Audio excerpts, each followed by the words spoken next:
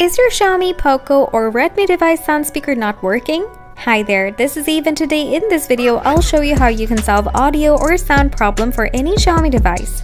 After the last update, many Xiaomi users use face issues with the sound speaker. They say they can't hear anything and sometimes the sound is low when they have calls, watch videos, or listen to music. To solve your sound speaker problem, move on and follow some steps.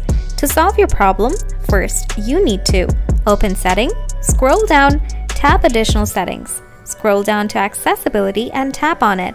Now swipe it to Hearing. Make sure to turn on Mono Audio and check the audio balance, most audio problems happened for this setting. After following these settings, follow a few more steps to solve your problem. Now open the setting again and scroll down to sounds and vibration.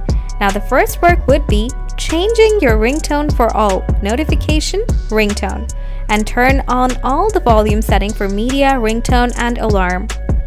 Now open Sounds Assistance Disable the first adjust media sounds in multiple apps and enable multiple audio sources and allow speaker sound.